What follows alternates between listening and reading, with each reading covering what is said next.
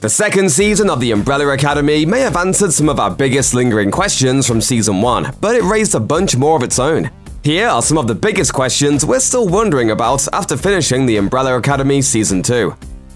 In the first season of The Umbrella Academy, we meet the Hargreeves siblings' mom, Grace, whom we quickly learn is actually a robot. However, in Season 2, Diego runs into Grace again at a gala in 1963, only this time she's a real flesh and blood person. It turns out that Grace is a scientist dating Reginald Hargreeves, the enigmatic Hargreeves family patriarch, and has no knowledge of any of his shadier dealings. Diego urges Grace to look closer at her boyfriend's business in Dallas, telling her that Reginald is planning to assassinate the president. Although Grace insists that Diego is mistaken, she does take his advice and finds evidence of the assassination conspiracy. She confronts Hargreeves, who doesn't refute any of her suspicions, but tells her there are some parts of his life he just can't discuss with her.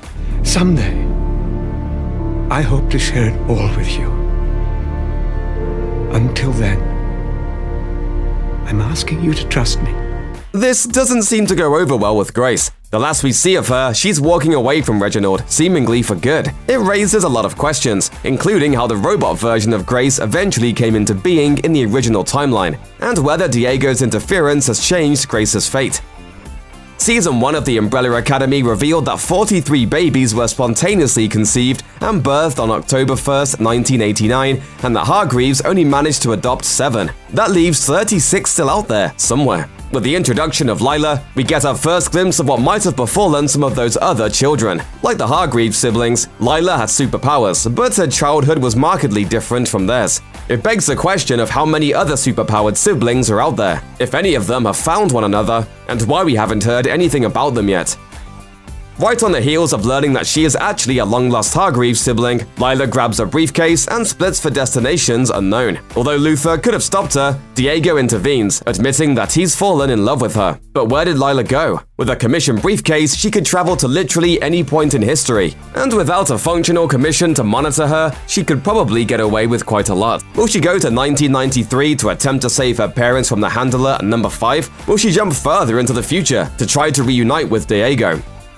One of the more poignant storylines from Season 1 revolved around the eccentric Klaus accidentally spending several years fighting in the Vietnam War. During that time, he fell in love with a fellow soldier named Dave, who was tragically killed in action. In Season 2, though, Klaus sees another chance to save Dave when he finds himself back in the 60s, this time several years before his first trip back. Unfortunately, Klaus's plan isn't very well thought out, and he winds up getting punched in the face for his troubles. Yet, despite Klaus's bumbling, he does actually manage to change something. I've already enlisted.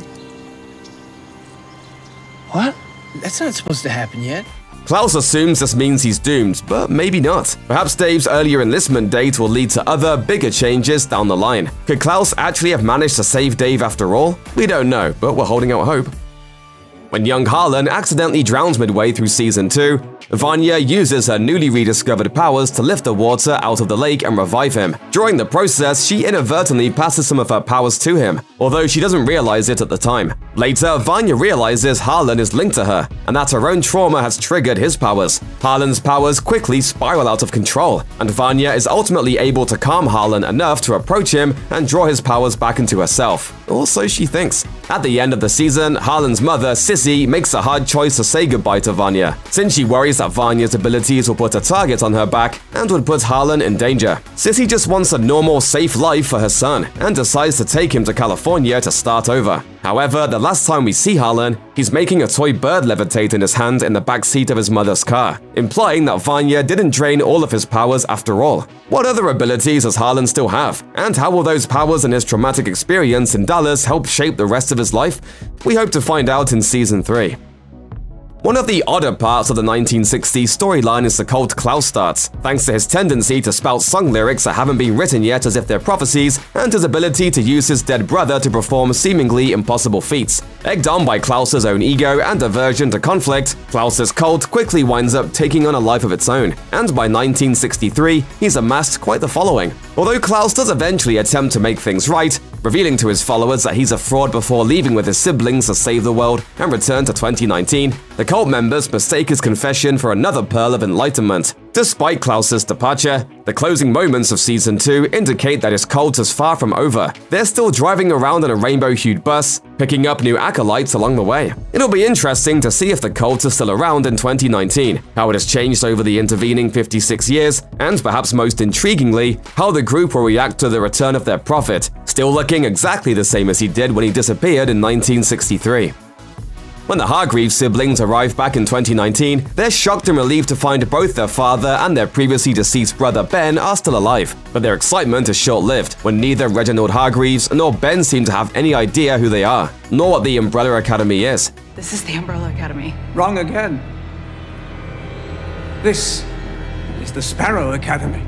The name change is mystifying, since the Umbrella Academy was named for the umbrella factory where Hargreeves set up shop shortly after arriving on Earth. He was still operating out of this same umbrella factory in the 1963 that the Hargreeves siblings departed before jumping to 2019. So it's curious that the Academy doesn't bear its name. Could someone else have named the Sparrow Academy? And if so, what is their role in the organization? Is Hargreeves still in charge, or is he now reporting to someone else? And what significance does the name Sparrow hold? We can't help but think about how Harlan ended the season using his powers to levitate a toy bird. Coincidence? We'll see. Check out one of our newest videos right here, plus even more Looper videos about your favorite Netflix shows are coming soon. Subscribe to our YouTube channel and hit the bell so you don't miss a single one.